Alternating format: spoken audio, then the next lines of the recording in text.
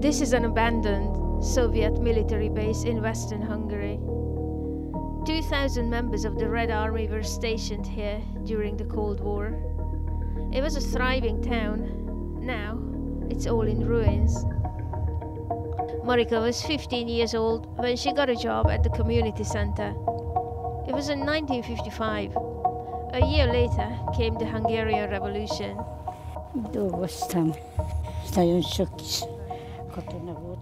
This is where I worked. Sadly, a lot of Russian troops died during the 1956 revolution. Their bodies lay in state here, in the cinema hall. Then the bodies were transported home.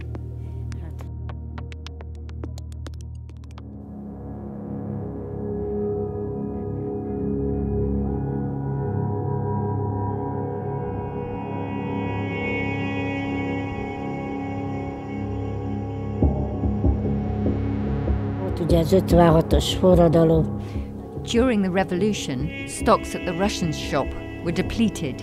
Those poor devils with families, they couldn't buy anything in the stores.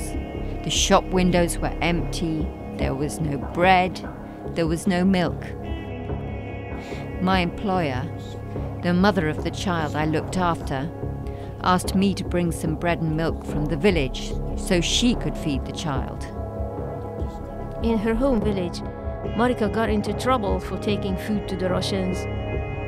A man threatened to subject her to revolutionary justice. nagyon fáj a szívem. My heart aches when I come here. I can see rubbish everywhere. It's a mess. People in the village call it a ghost town.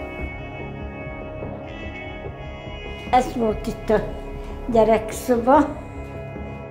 This was the child's room. From here, you could go through to the parents' room.